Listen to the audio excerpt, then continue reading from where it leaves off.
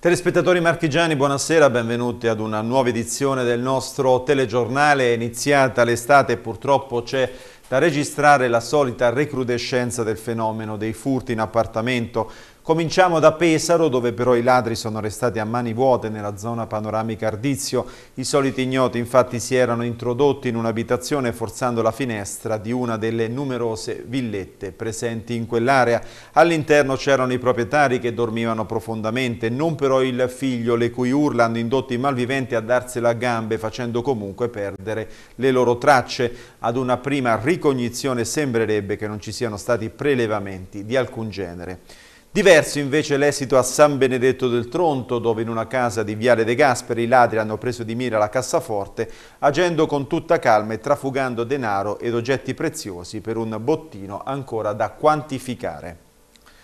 Rubano un furgone e danno l'assalto al bancomat dell'ufficio postale di passatempo di Osimo. È successo nella notte dopo che i ladri avevano rubato il mezzo in un'auto-officina di Padiglione. Con questo hanno tentato senza successo di sfondare lo sportello automatico. Sull'episodio stanno indagando i carabinieri.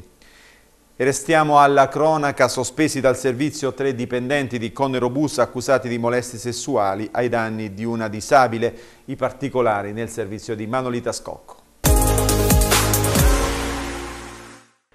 Sono stati sospesi dalla Conerobus tre dei quattro dipendenti, uno di loro già in pensione, rinviati a giudizio con l'accusa di violenza sessuale ai danni di una disabile. Il Consiglio di amministrazione dell'azienda di trasporti anconetana quindi non ha atteso l'esito della sentenza del Tribunale, almeno relativamente al primo grado, pesantissimi gli addebiti che vengono contestati dal GIP Paola Moscaroli. Per l'azienda, si legge in una nota diffusa nella serata di ieri, si tratta di un atto dovuto in attesa di ulteriori verifiche e non si stabilisce, almeno per il momento, la durata della durissima sanzione disciplinare. Secondo gli inquirenti, i quattro autisti avrebbero conosciuto la vittima durante il loro servizio, visto che la donna lavora in ambito scolastico ed utilizzava il mezzo pubblico praticamente tutte le mattine. Dopo i primi approcci confidenziali, gli accusati avrebbero approfittato della disabilità psichica della donna, cinquantenne, invitandola a consumare rapporti sessuali plurimi. Una tresca andata avanti almeno per 12 mesi, sin quando, cinque anni fa, gli assistenti sociali scoprirono una serie di messaggi telefonici inequivocabili, una torbida e triste vicenda sulla quale permangono ancora molti motivi di incertezza. Ancora una notizia di cronaca, sono state le telecamere di sicurezza ed alcune testimonianze ad incastrare un 25enne che diverse notti fa avrebbe danneggiato gli arredi esposti al pubblico di un ristorante nel pieno centro storico di Treia, oltre a diversi vasi di fiore, ad allertare le forze dell'ordine i residenti della zona molestati da rumorosi schiamazzi. A causa della rottura di una tubatura dell'acquedotto, un fiume d'acqua invaso ieri via Scrima, ad Ancona, tra Piano San Lazzaro e Posatora. Sono stati i residenti a dare l'allarme dopo aver sentito dei rumori e visto spruzzi d'acqua che avevano divelto un tombino con la strada invasa anche da detriti e ghiaia. Secondo molti servizi la condotta idrica ha ceduto, provocando un'importante fuoriuscita d'acqua, quasi 50 litri al secondo. Si tratta della principale condotta di alimentazione della zona ed un centinaio di famiglie sono rimaste senza acqua. E con l'avvio della stagione balneare ha preso anche quest'anno il via l'operazione Mare Sicuro. Sentiamo. Come nello sport, anche in mare le regole sono fondamentali ed è importante seguirle per la sicurezza di tutti. Parla così Valentina Vezzali, la Jesina pluricampionessa olimpica di Fioretto nella scherma, che quest'anno è stata scelta come testimonial regionale per la campagna Mare Sicuro della Guardia Costiera. Partito ufficialmente nella nostra regione dal 16 giugno, interesserà l'intero litorale marchigiano. Vedrà impegnati 400 uomini e donne della Capitaneria, 39 mezzi terrestri, 25 unità navali e velivoli del secondo nucleo aereo di Pescara. L'ex schermitrice, ora dirigente federale, era sulla banchina del porto antico di Ancona per spiegare i motivi della sua decisione. Da campionessa e da mamma di due bambini che passano l'estate sulla spiaggia di Senigallia ha detto condivido le finalità di questa campagna che mira la sicurezza in mare. Per lei un omaggio floreale ed i saluti del contrammiraglio Enrico Moretti, direttore marittimo delle Marche e comandante della Capitaneria di Porto di Ancona. Sta partendo la campagna Mare Sicuro, eh, un ulteriore anno in cui saremo presenti, quindi sosterremo uno sforzo operativo maggiore per essere presenti sulle spiagge, per essere diciamo, di, di, di, di, garanzia del corretto, ordinato e sereno svolgimento di un periodo in cui le persone dovrebbero essere sì in vacanza ma possibilmente non con il cervello, quindi è una presenza volta a instillare una forma di rispetto del mare, di se stesso e degli altri. Il caso Whirlpool di Comunanza al centro dell'attenzione della conferenza dei capigruppo consigliari e dell'ufficio di presidenza del Consiglio regionale che hanno incontrato ieri una delegazione di rappresentanti sindacali. Sono 131 gli esuberi dichiarati dall'azienda che ha annunciato il trasferimento di una parte della produzione nel sito di Napoli, un grave colpo per l'occupazione di tutta la zona colpita da una forte crisi economica e sociale e che coinvolge numerosissime famiglie. L'Assemblea legislativa ha approvato poi all'unanimità una mozione e un ordine del giorno. Prossimo appuntamento venerdì 6 luglio al Ministero per lo Sviluppo Economico con la partecipazione della proprietà. Ci spostiamo a Macerata dove sono state presentate le numerosissime iniziative estive che animeranno il centro storico e non solo. Sentiamo. Macerata d'estate, un mondo da esplorare. È lo slogan della rassegna estiva con musica, arte, spettacoli, cultura e ospiti di livello come gli scrittori Valerio Massimo Manfredi ed Eva Cantarella. Fino a settembre saranno 290 gli appuntamenti, suddivisi per 735 giornate, seguendo il concetto che ogni giorno vale per 6, 3.875 ore di attività e oltre 70 associazioni coinvolte in 27 location diverse, anche al di fuori del centro storico. Quest'anno per la prima volta si festeggerà anche il compleanno della città, 880 anni.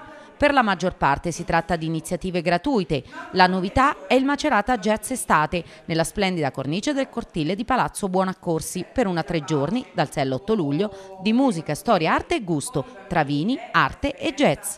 Ovviamente il posto di primo piano lo occupa il Macerato Opera Festival, ma anche Recina Live al Teatro Romano di Villa Potenza, con due appuntamenti, sabato e domenica, che presenteranno rispettivamente una serata di musica e teatro dedicato al flauto magico e una tappa del Tau, Teatri Antichi Uniti, con Valerio Massimo Manfredi, che proporrà un viaggio dall'Iliade alla Prima Guerra Mondiale.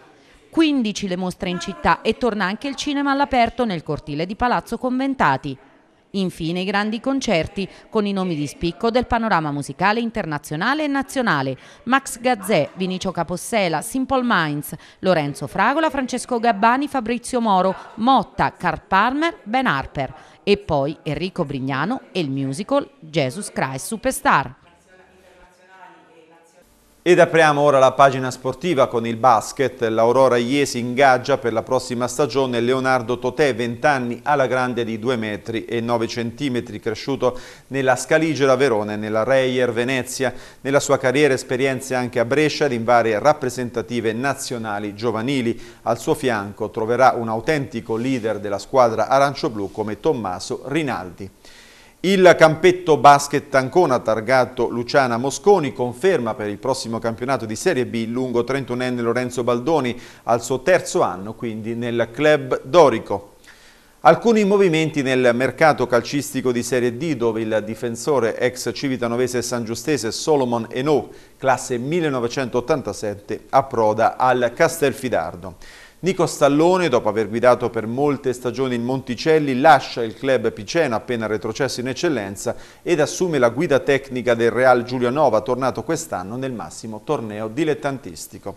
Ed andiamo a Matelica con le interviste registrate per noi da Sara Santacchi al neodirettore sportivo Micciola e dal confermato tecnico Tiozzo nel corso di una conferenza stampa sabato scorso. Vediamo.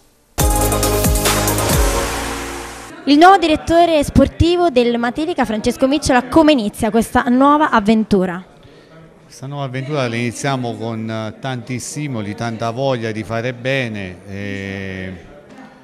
con la mentalità giusta sono venuto qui per, eh, per, fare bene insieme allo staff tecnico e alla squadra, adesso siamo, siamo in fase di mercato, costruiremo una squadra all'altezza di Matelica. Lei è un profondo conoscitore del girone F di Serie D, che presumibilmente sarà poi il girone all'interno del quale sarà inserito anche il Matelica.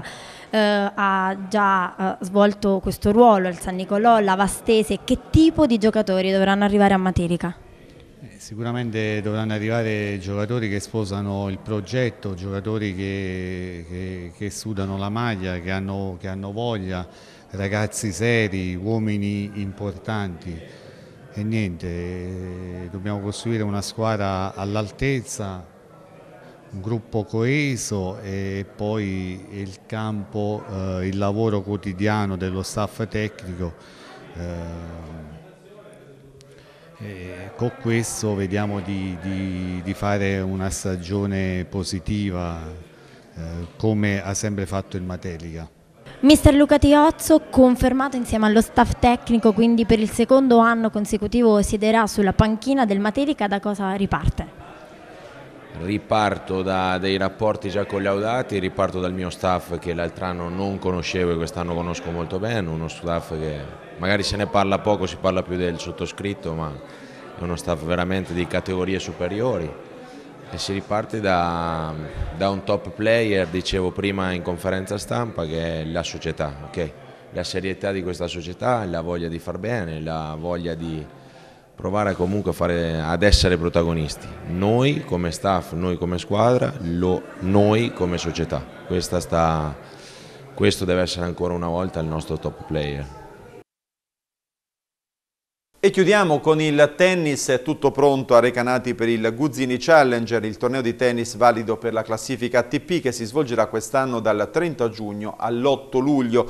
Quest'anno il premio alla giovane promessa sarà intitolato alla memoria del maestro Stefano Carlo Rosi, scomparso recentemente.